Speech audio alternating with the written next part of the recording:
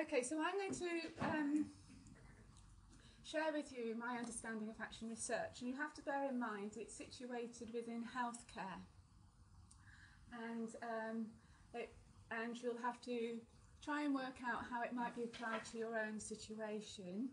And we can perhaps discuss this as we go along, any variations, because there are different types of action research, and they play out slightly different, slightly differently in different areas like education. Okay, so I'm too, I'm very pleased to be here today. Thank you for inviting me. Right, I'm going to cover um, definitions of action research, its key features, its history, its process and its limitations. This is a definition of action research, which I like. It's quite old now. It's by And McTaggart. It's published in 1988. And it says action research is simply a form of collective self-reflective inquiry undertaken by participants in social situations in order to improve the rationality and justice of their own situations, their understandings of these practices, and the situations in which these practices are carried out. Now, the important thing to know about action research is actually that it's defined slightly differently, as I said, depending from which discipline you come from. But I particularly like this one because it sums up a lot of the issues. And I just thought it would be fun just to kick off and um, get everybody thinking, is to take out some of the key words from that definition to get us to get some of the key features about action research into our heads. So looking at that definition, what strikes you about action research from that definition? Undertaken by participants. Participants, yes. To improve. To improve, yep. Any other key words? Collective. Collective, yes.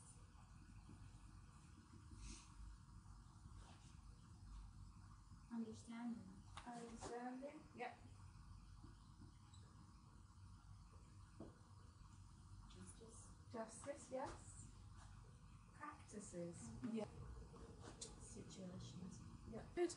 Now, what I'm going to do is just try and bring those words to life and provide you with an example of an action research project that I'm currently involved in at Manchester Royal Eye Hospital.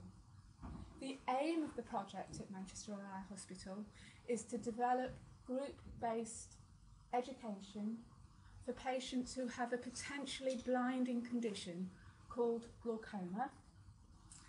And I'm working with a group of patients. We've got five patients who have recently been diagnosed and are or are established with glaucoma from a range of ethnic groups. We're working with doctors, GPs, and optometrists. So we're a collective, we're collectively working together. It's participative um, because we're all working together to solve a problem that has been identified by us all as being important. Patients with glaucoma report frequently that they don't know what eye drops are for. Some of them don't realise that eye drops are for life. Some might not understand that their children might be affected by the condition too. Even if they might not have it now, they could have it in the future. So, all in all, quite a few patients might leave the eye hospital with relatively little information about their eye condition. They don't know how best to help themselves, and some may go blind needlessly. So, that's the social situation, if you like. We're wanting to do something for these patients so um, they don't needlessly lose their sight. So, we're trying to create something that's just and fair hence the justice bit in a sort of UK situation. Okay? Um, it's an inquiry, we're trying to find out how best to do it.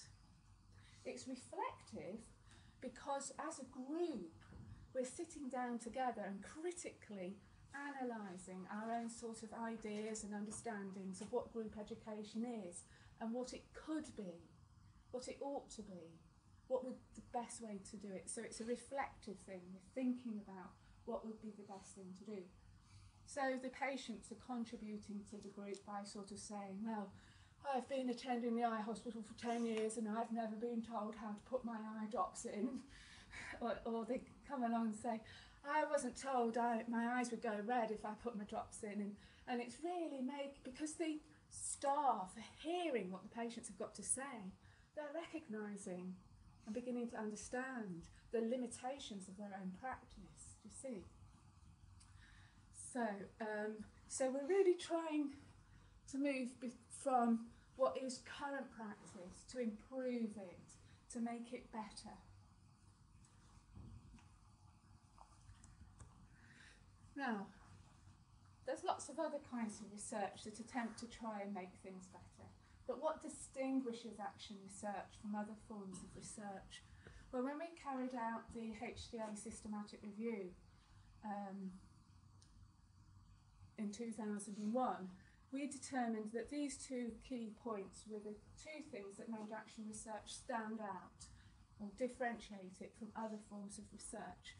And that was that it was a cyclic process. It aims to move from trying to work out exactly what the problem is, analysing the problem and finding out about it as a group, and then moving towards planning what you might do about it to make it better, taking action as a group, and then evaluating it. So it's a cyclic process of which involves some kind of action intervention or change process. It's the research partnership is very significant. The role between being a researcher and being researched is heavily blurred because the, the patients are researching in the patients I was saying are researching as well, the doctors are, the research assistant that's helping is learning too. So it's very much a partnership between people in order to improve a situation. Working with them so people are understanding their own situation and feel able, from the knowledge of understanding their situation, to change things for the better, i.e., to empower them. And it's a research, and it's based on a research partnership. But when you actually look at the published research, the actual degree of participation varies, and sometimes it can vary from co-op cooperation, where they're just not doing a great deal, they're very much a passive partner, to direct collective action, and you might see that more in um, community development action research projects where the communities are taking action for themselves. So these distinguishing features, this is how action research can vary so much. Um, the kind of intervention might vary. Just how many times they go through a cycle can vary. The degree of research partnership can vary. And so you can see that action research isn't a sort of single a single thing. It's so very, very varied. Now, I thought you might find it quite interesting to consider how it differs from more traditional forms of research to get it sort of properly in your head how action research differs. So, in the column I've got here, uh, in this diagram I've got here, I've got three columns. The left hand column, I've got epistemology, the research problem, methods, research participants, researcher roles, and analysis. Next col- column is quantitative, and the right hand column, I've got action research. So I've tried to put a descriptor in order to say, um, um, to, in order to help you understand how action research plays out according to these descriptors here. Okay, so I'll just explain them. So, action research is sometimes um, underpinned by critical theory, which is a philosophy that's very interested in, in, um, changing people's lives, it's about improving the justice of people's situations. It can be underpinned, for your information, by um, qualitative paradigm, interpretivism, etc. as well. And it can also be underpinned by another paradigm, by Reason and Heron, it's called the participative paradigm too. So again, this is why action research can vary. You, there's people take different philosophical stances when they're carrying it out. But if we take critical theory as the example, critical theory long ago, for those of you who don't know much about it, comes long ago from ideas to do with Karl Marx, to do with emancipation and things like that. Okay, so action research, it's interesting in understanding, improving stuff and change, yeah? As I've already said, it's very cyclical. The data that's generally collected can be, is usually qualitative. Sometimes it's quantitative. I've actually carried out a randomised controlled trial in the middle of an action research project. So it's not exclusively qualitative. It depends upon what the needs of the project are. Okay, and it's generally evolving, which means that when you set out, you might not necessarily know at the start of the project what methods you're going to use. It depends upon what you decide you want to find out and how you need to get the answer to that question. So it's evolving. So you never, you don't quite know where you're going to end up when you carry out an action research project. You have your overarching goal of what you want to achieve, but you work out along the way how to get there, depending upon what you find on the way. So the research participants, as you've probably gathered, are active. They're there because they want to do something about the situation that they find themselves in. So the patients were there in the example that I gave because they wanted to help other patients in the future. They realised the, the, importance of uh, what we were trying to do. The doctors and the nurses and the optometrists had seen the results of people not understanding their condition and not putting the drops in. So people are very active, they want to take part, they want to do something about it. There are always, there should always be volunteers quite often you can read about action research projects that don't work. And it's often because an outside researcher has gone in and to foist a project upon a group of people who aren't necessarily that interested in it. Okay. Um, researcher roles, um, very much involved, very much participating and taking part. They're trying to affect a change with the group. And the analysis is very contextualized. You're trying to identify what the problems and issues are. So you're trying to identify what the tensions are that you're going to have to solve in order to move forward. And it's very much into complexities, very much into trying to understand complex social situations and to work out the best way to move forward. Right, now then. So, if we move to the other column, traditional quantitative research, let's just go through what the left-hand column will contain in order to help you compare the two. Okay, so the epistemology of quantitative research is generally positivism. Yes, have you heard of that term? Yeah. And the research problem is usually geared towards theory testing. Yes. Generalization. Pardon? Making uh, generalization. Yes, it's very much about generalization, whereas uh, action research is very local and contextual. Yes, good point. Static. Static. Yes, it's not. It's not. It's trying to just answer one question, and that question doesn't change. Generally. So what do the research participants, if they're active in action research, what are they generally in quantitative research? passive, yes. And result, researcher roles, they're usually, yes, thank you, detached, and the analysis is statistical, it's all about objectivity. So now you've got a basic idea that action research is quite different to more traditional, conventional forms of research. And in fact, it's quite interesting because it's actually turning the normal conventional ideas of research right on its head. You're suggesting that the researcher gets involved and tries to do things and tries to make a difference.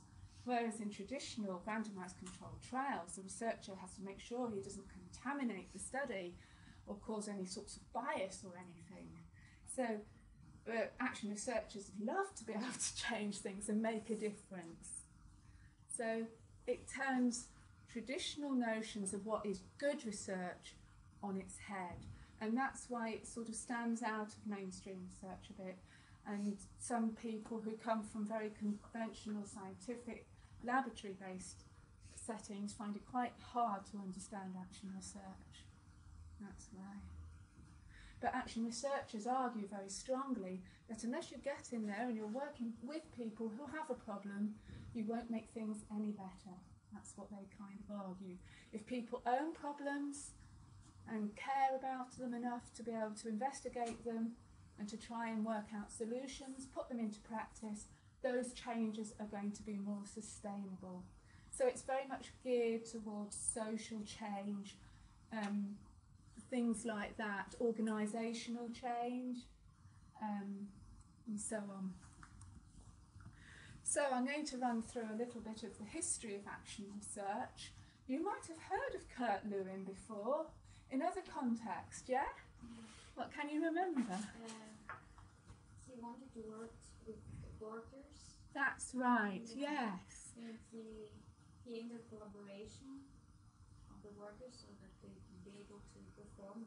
That's right. He was interested in group dynamics in factories and how you could increase productivity. But having said that, he came from uh, Poland and was a Jewish emigre to um, America. And in America, he developed um, social psychology. He's very well known for his force field analysis, freezing and unfreezing in change processes. Are they ringing any bells? Yes, good. Okay, so he's very often credited with coining the name of action research, but unfortunately he died in 1947 with a heart attack and never actually saw many of his experiments through. He used to call them experiments, and he wasn't really so much geared towards social emancipation. He's criticised nowadays that he was using group techniques, getting people to work together as a group would help people to change their practice and do as the group is going towards. He very much understood the power of groups. Um, but he tended to use it as a technique rather than as a kind of principle that it's good to get people to work together to free them from what things are sort of oppressing them. Then there was a decline in action research, um, and that's because it was viewed as too much like activism by the government at the time, and also some new statistical techniques were coming to the fore, and everyone went along those sorts of lines. And action, the interest in action research declined for a little while, and then Lawrence Stenhouse um, is credited as raising its profile again with the teacher as researcher movement. Now you'll know that from education, do you? Yeah, teacher as researcher movement. Um, and the rise of educational action research. He very much um, criticised a lot of research in educational practices for not being very relevant to actual teaching. And he said the people that should be doing the research should be the teachers. And that's how teacher as researcher notion came about. And then from the 1980s, there's been a growing interest in all sorts of fields health, social care, and police. So, the rise of action research in education, it's quite similar to the rise of action research in healthcare, social care too. And I'll just go through this. There was felt to be, as I said before, that traditional research couldn't just wasn't really answering the questions that practitioners on the ground floor had. It wasn't very good at problem solving, traditional forms of research, survey research, and um, sort of experimental research didn't really help people overcome those things that were bothering them and causing conflict.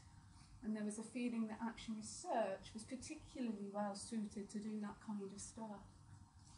There was a dis- dissatisfaction with top down approaches, people determining from above, from the research councils, what the research questions ought to be, and um, research coming top down, being guided top down. Whereas, um, and it links in with the other issue, that really the questions that needed answering weren't actually the ones that were being studied. There was a shrinkage of research funds. There was also a feeling that traditional research approaches generated research findings, generated theory, um, and that took a long time, if ever, to be implemented. So it was creating a theory practice gap. Whereas action research, because it's very much about um, looking at what the problem is, planning action, and trying to solve it, it's very much about closing the theory practice gap and the idea that there was a lack of relevance of academic research. So, what types of improvement can you do? What types of project? Now, these are um, health examples of all projects I've been involved in. Um, you can have technical projects where the improvement is a technical improvement. So, for example, um, in this one, we developed a questionnaire with 17 general practices uh, from Wales and England. And the questionnaire was aimed at it was aimed at asking patients what they thought about general practices. Um, it was a satisfaction questionnaire basically for, for patients to fill in when they went to their GP. That's what it was about. So that was a technical one. And patients were involved and doctors were involved in the generation of that questionnaire. They worked with us on the project all the way through. The educational example I just told you about, um, uh, we're generating a group based educational programme for patients with glaucoma. The professional one, we did this study in Kenya. We worked with a group of um, AIDS healthcare workers, and uh, we worked with them in order to improve the, the professional care that they were delivering to patients living with HIV and AIDS in Kenya. So, for service delivery, for example, in the care of patients with hyperemesis gravidarum, that means women who have got very severe nausea and vomiting in pregnancy, um, such that they become dehydrated, very listless. The care traditionally was geared towards giving physical interventions like IV drips to rehydrate them. But staff felt that there were other aspects of care that were being played down or ignored, like the need for social support, perhaps psychological support too. So the Action Research Group developed the service provided to these women so that all aspects of care were properly attended to. So those are different types of improvement that I've been involved with with Action Research. Any questions on that? Can you relate? Can you see how, in your own circumstances, you might be able to think of a technical project or an educational or professional or a service delivery project in your own field. Now, I'm bringing this one in because it's my little bugbear. Most people think that because action research is about just getting a group of people together, it's a management technique and you don't need to spend any money on it. Well, I totally disagree with that. If you're going to do a good action research project, you need proper resources for it. And that's because in today's climate with the cuts in healthcare, police, education, you'll not get people to participate in your project unless you've got some way of persuading the managers to release them from their workplace. So, whether you're in social care or whether you're trying to build sustainable environments and you're wanting to work, say, with a group of environmentalists, they've got to be freed from their everyday work to attend this. And you won't get cooperation, even if they want to cooperate, unless you've got some way to get them released. Now, so sometimes, so sometimes you can pay money, um, so somebody else can go and stand in for them while they're not there, or you can get, or if you can get it on the agenda, if you can get it on the uh, management's agenda so that they see that there's a need for it, it fits in with their business policy, they will support it, and that's so. Even though you might have a ideas of wanting to work with people and empower them, you can't empower them, I find, ironically, without working with the management and getting them on board. We have to, we have to do that. Costs need to be covered for the improvement. So, for example, in that group-based educational program for glaucoma patients, we the costs are uh, hiring a room, so you can provide the actual program for the patients, paying for models of eyes, paying for the printing of educational material, paying for the eye drops that the artificial tears actually that patients will practice with, so on. So we had to pay for those. For the um, Action Research Project in Kenya, we had to pay for the hire of rooms. We had to pay for food and accommodation for people. So there are to get things going and to pay for the improvement you have to do you have to find money if you don't find the money what you end up doing is, is not it's not as good as it could be I just ask a question. yeah Your funding body is paid for the time that staff would be in there. Yeah you have to cost it in as a staff cost just cost it in as a normal like you might cost in for a statistician cost in the staff time What about the patients? uh, cost uh, very important to pay for patients' time. In the NHS, we have to pay something like fifty pounds for half a day, something like that, of their involvement.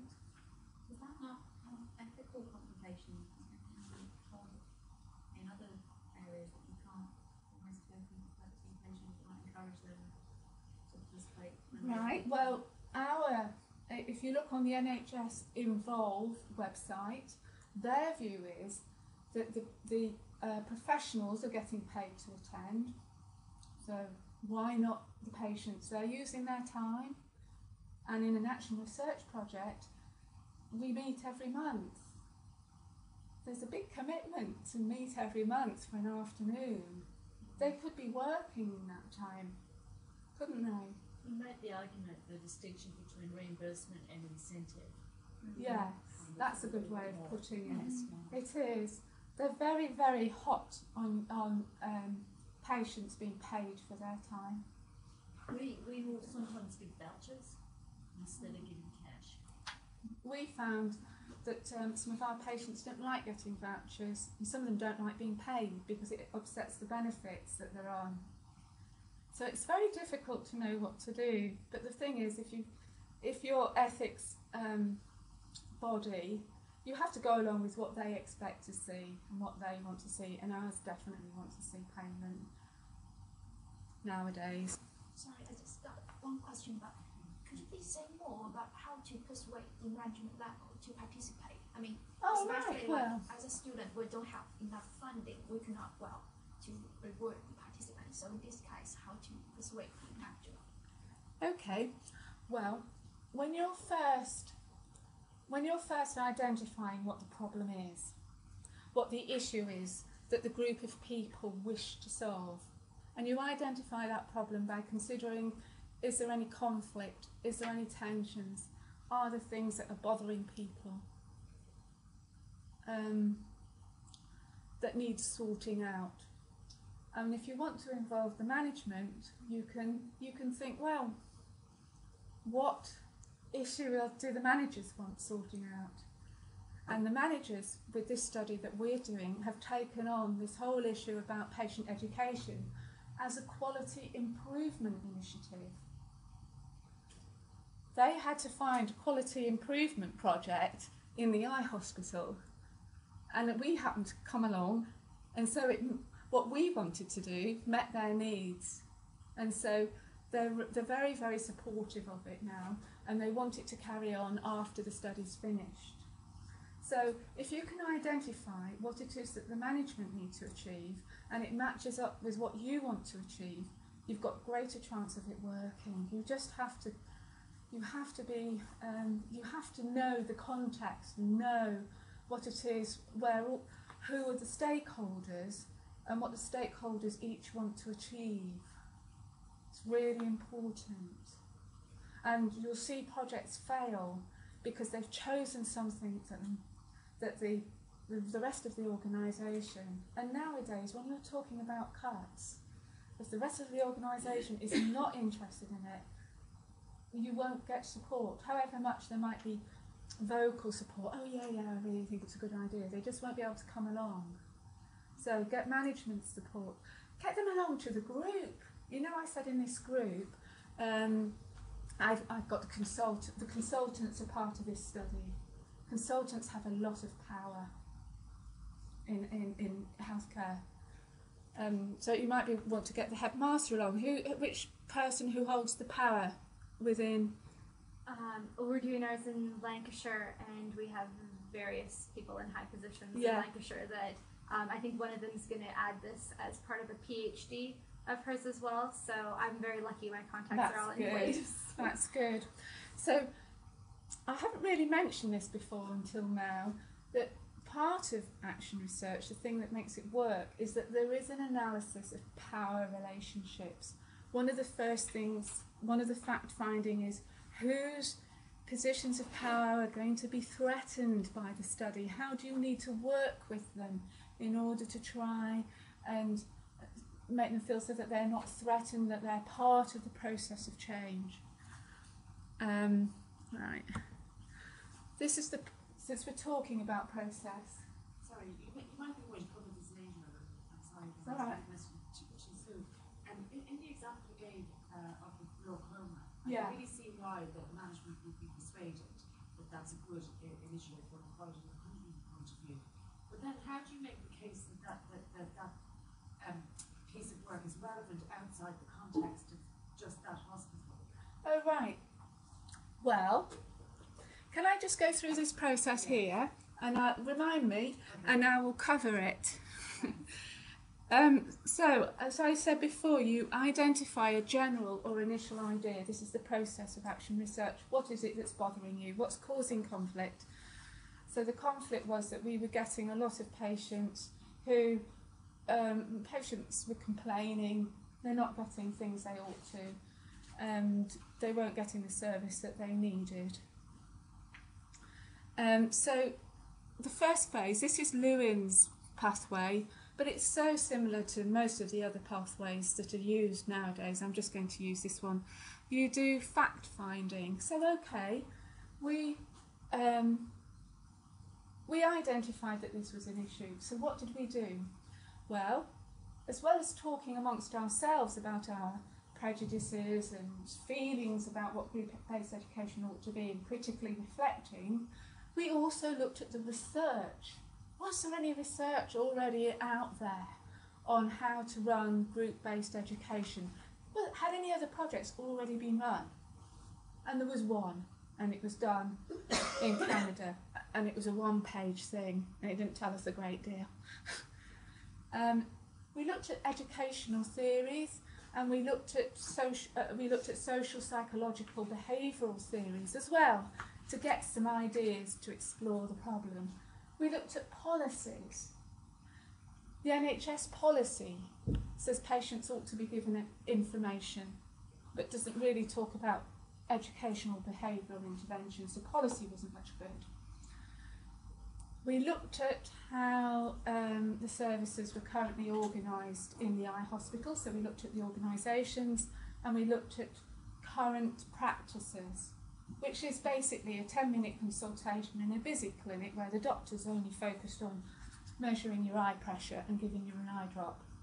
So it was felt that education could not be provided in the clinic to the extent that was required, and education would need to be delivered outside in a separate two hour session.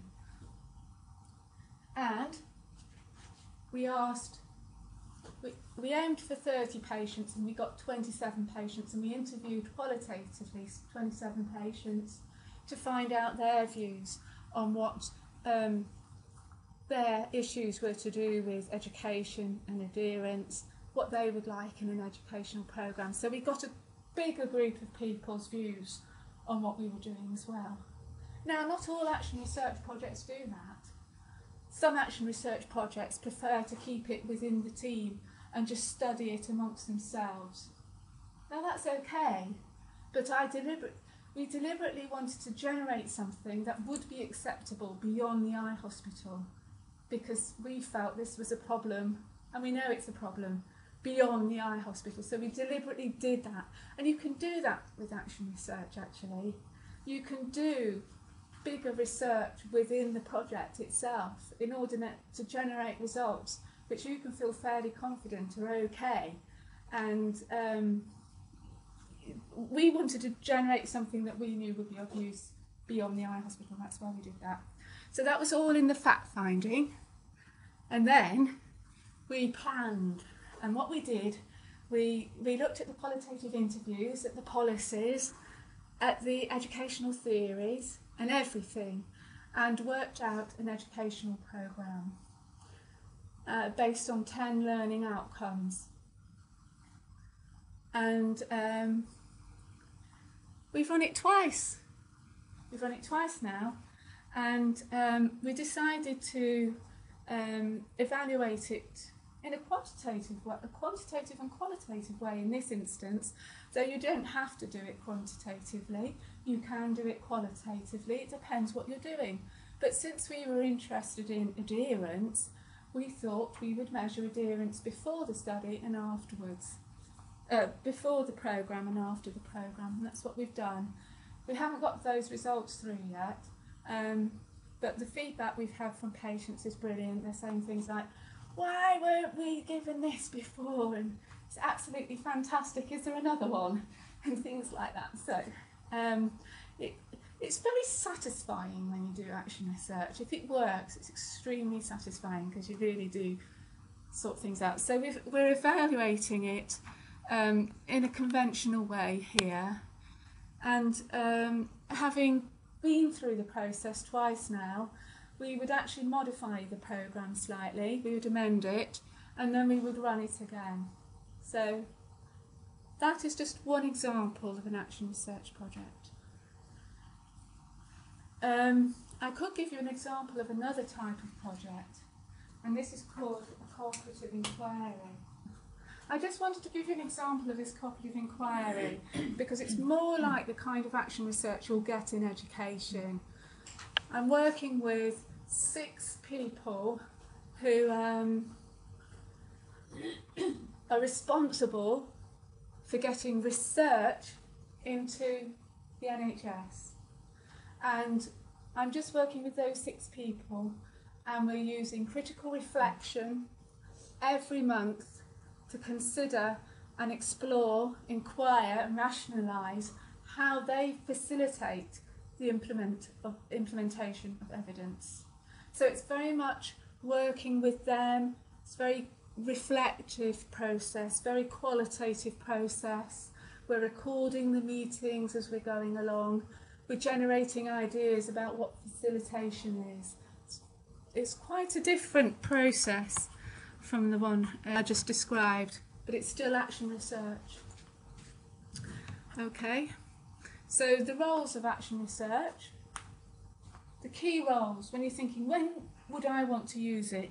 It's if you want to improve practice, if you want to involve users and staff, and if you're very interested in promoting knowledge and understanding in the people that have got the problem. So, the limitations of action research. Can you imagine how people criticise action research? Not generalisable. Not generalisable. Value laden. Value laden.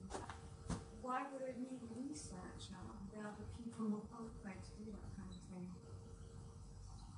Okay, we'll run through, we'll answer all of these. Right, Too, in, too involved, taking on management values. right. I, I would just like us to consider the counter arguments to these. So, if somebody said those to you and you were supporting action research, what would you say in return? So, not generalisable, how would you sort of counter that argument from what I've said today? Well, that's kind of the classical one with quantitative research, like not objective. I, I think that that's quite easy. It's just not aimed directly at generalizations as much as not objective. It's not supposed to be objective in any way. It's just um, it, it's aimed at gaining a better understanding of something and and changing practices and the knowledge that comes from it is is definitely constructive, but um, you could argue that knowledge is never, or research is never objective anyway. And I think those two are kind of the typical quantitative Yes. research Right, and and, criticism. and you can use to say sometimes what you're interested in doing is like the out. If you think about the outputs also from action research, we've generated, we've got a product, if you like. We've got this action, uh, this educational program, which can be used somewhere else. Um, so there's other aspects to that issue which you don't often get from conventional forms of research. Okay, value laden. It? I would actually say in action research, when you've got a group of people together who come from different disciplines and, and include patients as well, you've got doctors, nurses, and you've got them all in the room, you will actually review different values. So I think it's, yes, it is value laden, and that's the whole point. You want to, you want to critically review what each one of yours personal values are regarding patient education, um, you want to ensure that what's underpinning your practice is a value that you can live with. And if you're in a group together with a group of people from different disciplines, you're going to hear different arguments, and that's going to expand your understanding of different perspectives. And at the end of the day, you come away with a different view, a more enlightened view about what's underpinning your practice. You've got that rationality. Well, what about um, power differentials in the group? Well, my, if you've got a good, that's why you need a researcher in a way. um, if you've got a good, if you, it doesn't have to be researcher, actually, but if you've got a good chair in the group, and you begin the group with ground, you get the group to work out ground rules for behaviour, and people want to be there, they want to change. Um, my experience of working with the GP in that group, he was very quiet. He was inviting the others, the patients, to speak, and the patients held the floor. And that was because we also prepared them beforehand. We kind of, um, th- that's what the researcher was doing. The researcher was preparing the, the patients to feel comfortable to speak, giving them a demonstration about what they could do, getting them to think about what they could say quite often, if you're working with busy people, they can't do all the research. And the researcher was the one that ran off to the library and got hold of the literature and things like that and summed it up. Because in real life, that's why you need a researcher. But you, you don't have to have one.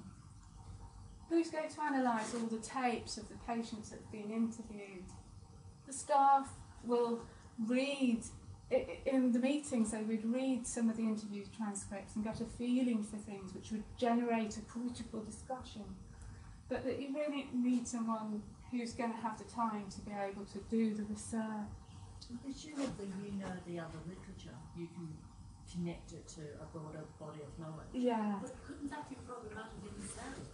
In what way? Well, I mean, my understanding of action research when I've heard other people talk, I've never done it myself, but Mhm. when I've heard other people talk um, I, I thought that part of what they did was trained up, say, community participants Yeah. to do some of the research. I've done it myself, yeah, I have. I've done it. And that must be very hard because you don't actually have any research training. Um, And you have to support them. Um, but the upside, there's, there's an upside to it. Because they're on the level of the people that they're interviewing, quite often they can get things from that interview that if a middle class, very academic researcher had gone in and talked to them about, they might not have grasped. So there's ups and downs to it all. There always is. But you can train them.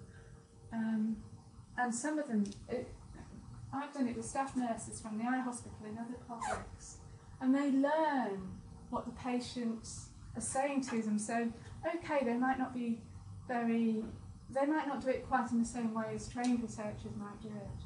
But the, the other upside is, is that they suddenly realise, oh my God, these patients are not controlling their pain. And they realise the need to take action and to change practice. So that's that's the other angle. Well, one point related to this is maybe we should add to this why do we need an academic researcher? I mean, to Well- a certain extent, this comes fairly closely to what people in consultancy and that kind of branches are doing, or maybe should be doing, if they, they take their projects in a sort of rational way through the whole process. Um, so, what would you see as the main differences from that perspective? Um, it's because the fact finding phase, you can do it in a very sort of change management kind of way and do it in a very basic way, or you can do it in more of a research way, like we did. We searched the literature and we collected interviews and we did this and we did that. And at the end of the day, I would like to write a research paper with the participants. I've always written research papers with participants, their names are always on the papers in order to sort of academically describe another way of doing research in order to sort of move it forward within the academic field. And also, the actual process, let me just go through this. The actual process of moving from fact finding through actually doing something in practice makes you realise things that you've missed from the fact finding phase. In the fact finding phase, we did not pick up very well that lifestyle issues were really important to patients. We missed it. When we look back in the interviews, we can see it's there, just. But when we actually did the classroom work with them, they saying, What about yoga? Does that affect it? What about smoking and weightlifting? Does that affect glaucoma? What can I personally do? And we hadn't picked that up. So going through the process, we actually refine, we you kind of refine your findings from what you initially think is the issue at the end. And so academically, it's a great, for me, I find it a great process. It really helps sort out what the really, what turn out to be important issues. Empowerment. There's a lot of this stuff about empowerment. And you don't really kind of get a feel for it a lot in some of the papers that you read, especially within the NHS. Um, and the whole issue of how much are you really empowering people is, is a debate within action research. Your question here about management of change, how different is it to management of change? But it is, because it's generally bottom up. The other issue, data collection versus change. Sometimes change gets a, um, gets going by itself. Before you've collected all your data, there's this sort of impetus, and you have to balance data collection against change. Ethical issues, writing up and publication, they're all, they're just some of the limitations, but you quite rightly identified some good ones there. So, in conclusion, action research reflects critically on what might or ought to be rather than what is. Usually, conventional research is about what is. Action research is about what, what ought to be. Going back to the issues to do with values, what ought to be there? What do we want to achieve? It's political as it seeks to challenge the status quo. It's because you're wanting to change, you're questioning um, current policy practices, so it's political. It improves practice and evaluates the results. Within the participants, it produces knowledge that drives them forward for action. It's carried out by researchers and participants and utilises qualitative and quantitative research depending on what needs to be known. All action researchers are, are a little bit evangelical. a research that produces nothing but books will not suffice. That's where most action researchers are coming from. Thank you very much.